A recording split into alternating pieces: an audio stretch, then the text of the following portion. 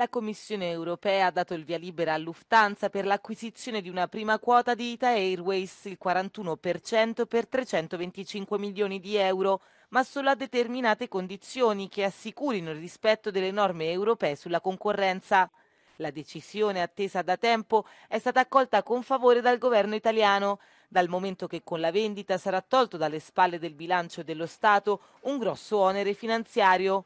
Entro il 2033 la compagnia aerea tedesca acquisirà il 100% della società italiana. Possiamo dire come che la logica ha prevalso sui eh, vari eh, ostacoli e penso che con la logica questa operazione continuerà ad essere portata avanti e a concludersi ad essere un elemento di successo per, eh, come viene detto, per l'Italia, per la Germania, per Lufthansa e per soprattutto i nostri passeggeri. Grazie. Anche l'amministratore delegato di Lufthansa ha accolto con favore la decisione, definita un chiaro segnale per un traffico aereo forte in Europa, che potrà affermarsi con successo nella competizione globale.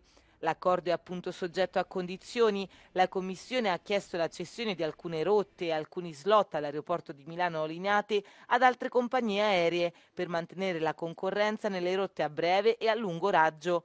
L'accordo inoltre non potrà essere finalizzato dalla Commissione finché le compagnie aeree rivali non accetteranno di beneficiare delle misure correttive.